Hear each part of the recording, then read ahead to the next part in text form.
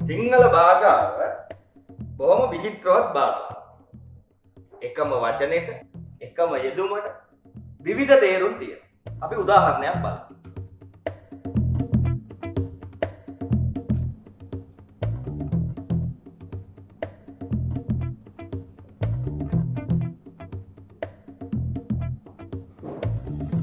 පවුල කනවා.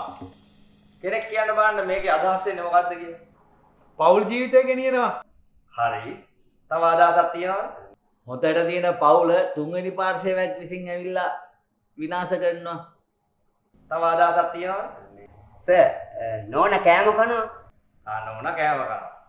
තව මුළු පවුලම කෑම කනවා ඒක දැන් කෑම කෑවන එක පාර. නෑන මංකිව අර දැන් අම්ම තාත්තා ළමයි මුළු පවුලම කෑම කනවා පවුලම කනවා. ආ, හරි. තව තියෙනවා. ස පවුලක් එකතු වෙලා රට කනවා. හරිද?